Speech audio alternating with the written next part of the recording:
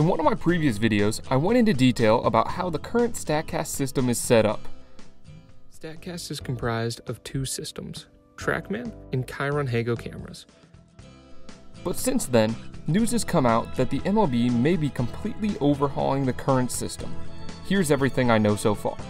StatCast was introduced into the MLB in 2015, and prior to that, the PitchFX system handled all of the data needs. Then, in 2015, the MLB made the jump to TrackMan, which we covered in the video I showed earlier. This system was impressive, and the sport wouldn't be where it is today without it. But recently, it was announced that the MLB may be moving away from its partnership with TrackMan as its tracking technology of choice.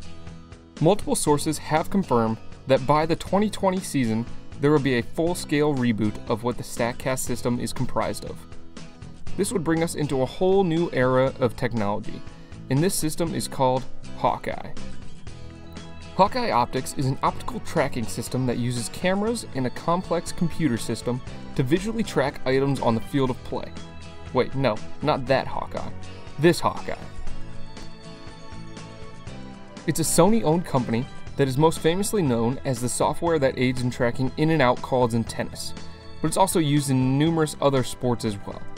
But now it may be breaking its way into professional baseball.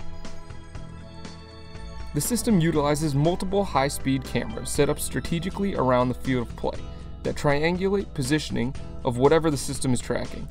For tennis, there are 10 cameras, and I believe once the system hits the MLB, there will be 12 mounted cameras around the stadiums. The way it works is it takes each frame sent in from all of the cameras around the stadium, and a computer system identifies the group of pixels which corresponds to the image of, let's say, this baseball. It then calculates for each frame the position of the ball compared to at least two other physically separate cameras at the same time. And the kicker is, it can provide all of this feedback in near real time. Now, unlike the current setup, where TrackMan tracks the ball and the ChyronHego cameras track the players, this new system will have it covered all by itself. This new system will still track some of our favorite metrics, such as a player's sprint speed, their location on the field, but it's going to open up whole new areas as well, such as a player's bat path and even their limb positions. So, what is the reason for this switch? Let's start by comparing the two different systems. The main difference between the two is the way the data is gathered. In TrackMan, like we covered in that other video, the data is collected using transformed military grade radar tracking technology, while Hawkeye uses a combination of multiple cameras set up around the stadium. The main faults with TrackMan have been the questions asked about the validity of the data. As for one, it can't track gyrospin. We'll jump into this concept in another video, but just know that every single pitch has some amount of gyrospin.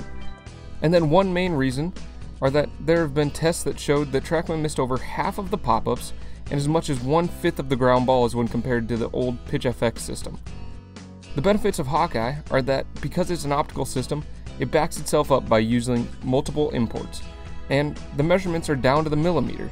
And as I said earlier, there are several new features that should blow open massive amounts of new research and development.